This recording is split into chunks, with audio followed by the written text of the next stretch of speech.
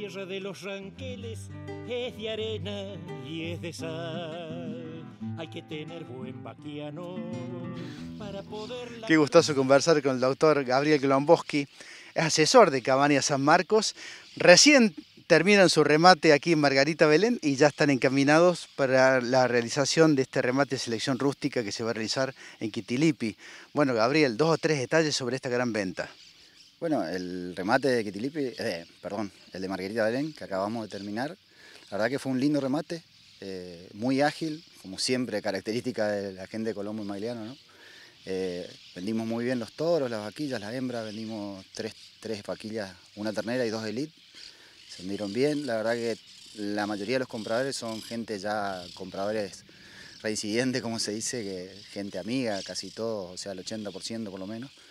Y un, lindo remate, nos ayudó un poco el, clima, que teníamos miedo porque estuvo el día anterior fue un calor terrible, había pronóstico de lluvia, a la mañana fue, estuvo muy lindo y sí, terminamos el remate con viento sur y una llovizna bastante, bastante frío hizo, pero, pero bueno, nos ayudaron, salió bien eso, muy bien. Lo que hicimos hoy fue la preparación para, la, para nuestro remate del día de octubre en Quitilipi. Eh, creo que llevamos una muy buena torada, quizás un poco menos que otros años, porque bueno, por ahí le damos prioridad más al brango en, en, en, ese, en esa zona. Y vamos a llevar alrededor de 20 toros, Bradford.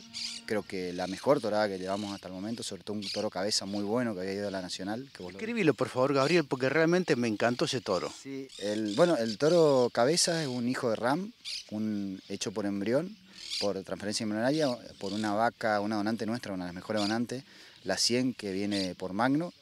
Un toro que nació con bajo peso en nacer y tiene un desarrollo, como vos lo viste, hoy está alrededor de 950 kilos, no lo pesamos, pero es un toro importante, moderado, con, muy ancho, con mucha musculatura, que se desplaza bien, vos lo viste como se mueve, impresionante, con buena circunferencia, muy lindo en tiojera, buena pigmentación. Creo que es un toro súper importante. Estoy seguro que aquí Tilipi nunca llevamos un toro así. Así que bueno, espero que, que, lo sepan valorar la gente. Hay que andar para encontrar un toro así, yo diría que es medio paradigmático, casi ideal racial, ¿no? Y a nosotros nos gusta mucho, es qué sé yo, es el toro que, que, uno apunta a hacer, ¿no? Ojalá todos los toros puedan ser de, de, este nivel, un toro con una caracterización racial importante, con muchas virtudes, la verdad que tiene, nos gusta muchísimo. Y bueno, hijo de, de, de nuestro toro también de Ram, que a nosotros nos dio muy bien, muchísima clase. Y como te digo, creo que, y sin temor a equivocarme, que es el mejor toro que llevamos hasta ahora de todos los remates que venimos haciendo en Quitilipi, ¿no? También se va a ofrecer un torazo, un colorado, ¿no? Que, que, empezando como hacen muchos criadores de la zona, mirándolo desde abajo hacia arriba, ¿no? Por donde lo mires no tiene falla. Sí, totalmente. El colorado, como vos decís, un torazo, eh, súper correcto, súper correcto, impecable de línea inferior, línea superior, ancho, profundo, con clase, eh, un toro que no tiene ningún problema. Es más, ese toro fue, es propio hermano de un toro que está en el CIAP, que, que, ya, que ya hay crías y que está dando muy bien, que ellos lo apodaron en Curry, eh, que nosotros lo usamos bastante y en otros campos sabemos ya de, de, la producción muy buena. Este toro es propio hermano y fue integrante del gran campeón conjunto ternero de hace dos años. Eh, y él salió tercer mejor individual de lote en esa misma expo. El año pasado vendimos un hermano y bueno, nos reservamos este para cabeza de remate este año. Y la verdad que un toro imponente. Ya las últimas veces no entró en la manga para, para que entre, tenemos que, hacerlo ayunar, qué sé yo, así que, pero está alrededor de, entre 950 y 1000 kilos, digamos. Eh, creo que es un toro muy, muy importante también. O sea que los dos cabezas nos vamos bien, bien armados este año, ¿no? Lo repetimos varias veces, ya lo hemos dicho en la nota que hicimos aquí mismo hace poquito tiempo, pero creo que vale la pena decir, ¿no? Toda esta hacienda que se va a vender, todos estos reproductores, han sido inmunizados contra la garrapata naturalmente, diría. Sí, sí, totalmente. Acá es una zona bravísima de garrapata. Por suerte para el comprador, no tanto para nosotros. Eh, se trata siempre de, de, de, combatirla, de mantenerla. Obviamente que no la puede erradicar. Entonces los animales que salen de acá, la verdad que, no sé, obviamente que tienen todas las garantías, pero no tendría que tener ningún problema con respecto a, la garrapata, tristeza, digamos. Eh, este año eh, otra cosita que quería agregar con respecto a, a Bradford, sobre todo, llevamos tres terneras elite, una, dos, terneras, dos terneras y una vaquilita, digamos, de 15 meses. Yo creo que excepcionales también. En realidad estamos llevando un poco más de hembras de elite porque llevamos pocas hembras adultas preñadas. Entonces, bueno, una forma de compensar, llevamos esas hembras que también creo que, no sé si llevamos otra vez esa calidad de hembras, ¿no? Eso como para una cabaña, diría, ¿no? Un material, diría, para que, quien tiene cierto grado de exigencia, ¿no? Yo creo que sí, que son hembras, para mí son hembras que tranquilamente pueden ser donantes o, madres de plantel, digamos, superiores.